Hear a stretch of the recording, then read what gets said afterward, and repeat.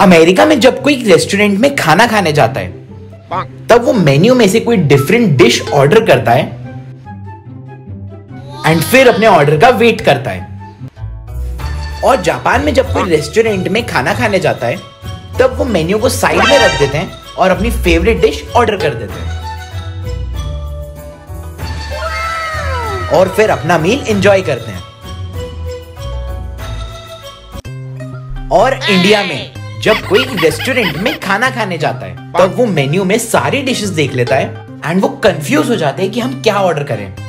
तब वो दूसरों की टेबल में झांकता है और फिर वो वेटर से कहते हैं उनकी टेबल पे जो रखा है ना वही ले आ बढ़िया होगा। ये होते हैं इंडिया के स्मार्ट लोग। ईस्ट और west India is the best